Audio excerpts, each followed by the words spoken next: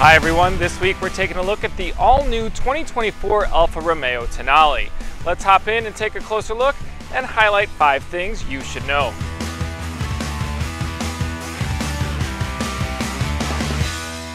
The Tonale is an all-new compact SUV that seats five passengers and is offered exclusively as a plug-in hybrid. This new Alfa Romeo is the most affordable entry into the brand with a starting price of $43,000 for its base Sprint model. The first thing of note is the exterior styling, which starts up front with the signature shield grille. The headlights highlight the Alfa concept of 3 plus 3, which is a nod to older models as it integrates sequential LED lighting. It features a clean side profile with a smooth high belt line. It looks toned, elegant, and athletic. A round back LED lighting takes center stage with a light signature that stretches from one side to the other, and down below the dual exhaust pipes are integrated into the bumper.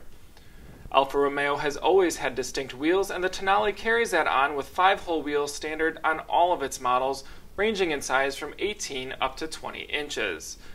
All Tonales come with a turbocharged 1.3-liter four-cylinder engine, an electric motor, and a 15.5 kilowatt-hour battery that generates a combined 285 horsepower and 347 pound-feet of torque.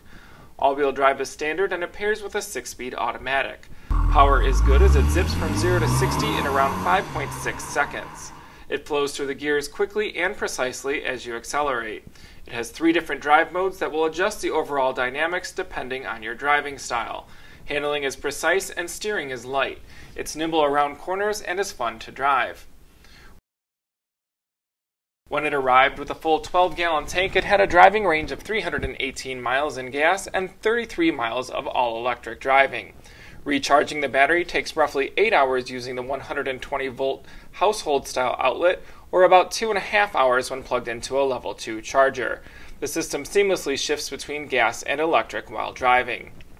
Finally, the Tonale utilizes Uconnect 5 found in other Stellantis products. It works well and is intuitive.